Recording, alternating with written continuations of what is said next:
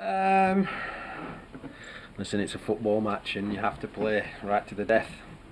And we just probably lacked that little bit of concentration and maybe fatigue as well came into it. But uh, but credit to my players, you know, they, they performed heroically. I thought, you know, it was always going to be difficult. It was never going to be an easy one, and it wasn't going to be a game where we would create many chances.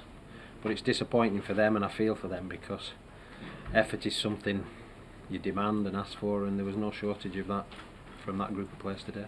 Well, I do know a few things, which is private to me.